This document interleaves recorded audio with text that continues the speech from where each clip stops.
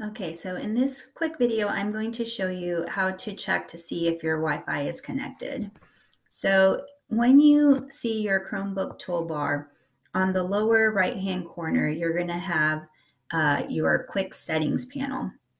And so when I click on it, uh, you're going to see that you have some information. Um, you can see your Wi-Fi, uh, you can see your Bluetooth and you can also access some other settings. So under your Wi-Fi, if you click on it, you are going to see um, some information.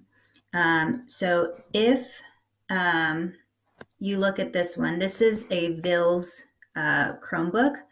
So there's only five middle schools that have access to this type of device and they have uh, data to access internet. You can see that it is turned on. So if you have access to internet at home, you want to make sure that this is turned off so that you're not using your data. Um, underneath it, you're going to see Wi-Fi and you can see that it is turned off. So I am not connected.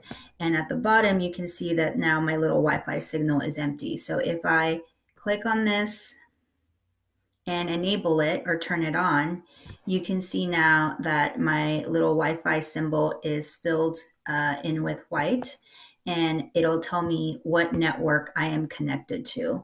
If you are at school, you should be connected to the education Wi-Fi network.